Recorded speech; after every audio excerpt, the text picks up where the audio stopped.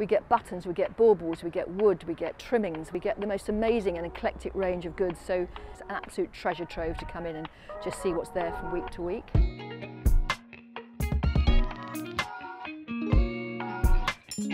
We are reuse charity, which means we're basically trying to help the planet. We're trying to give a second life to things that would otherwise end up in incineration and landfill. It's a membership-based organisation here in Tooting. You, you pay a fee depending on what sort of person you are, whether you're an individual, a family, a school teacher. For example, um, an art student might only pay £30 a year. They can come twice a week and take as much as they want. Then we have home educators, we have community organisations, we have theatre groups, we have schools. What's in store varies from week to week and depending on what suppliers have given us what materials. We get um, beautiful donations from big high street names and we get donations from families and a band of um, amazing, about 30 volunteers, sift through all the wonderful donations we get in. They discard some, but mostly we keep everything and we present it in really nice ways that you want to take. So they do a lot of sifting, presenting, cutting, bagging up. I can't praise them enough. They're just fantastic.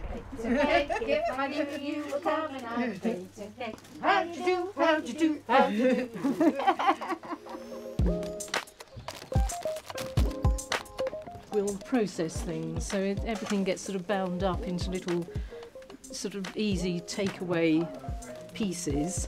Is there anything suitable for dressmaking? We usually do three metre pieces so people could make a coat or a dress or something similar. And these beautiful wallpapers, the manufacturers who make these will make for rich people and the royal family, right?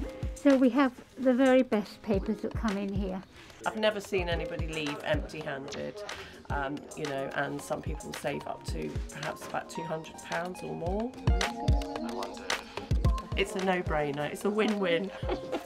and we're saving the planet as well. You think that most state school budgets for art materials is just 7p per child per year. So when they come here, they can pick up all the stuff they need to, to teach children all those lovely creative arts, which they can pick up for free, so that helps them stretch their budgets. All the pencils we get in get sharpened by our volunteers, bundled up. So there's really everything that you could stock up your classroom or your office with. Again, the good tip is bring a large bag, I think, as you can probably see from all this stuff. We like to think that we're educating children and local residents to up the idea of up upcycling and recycling, giving things a second life, not always buying new. And then of course, in a broader sense, we divert over 60 tonnes of materials away from landfill and incineration each year.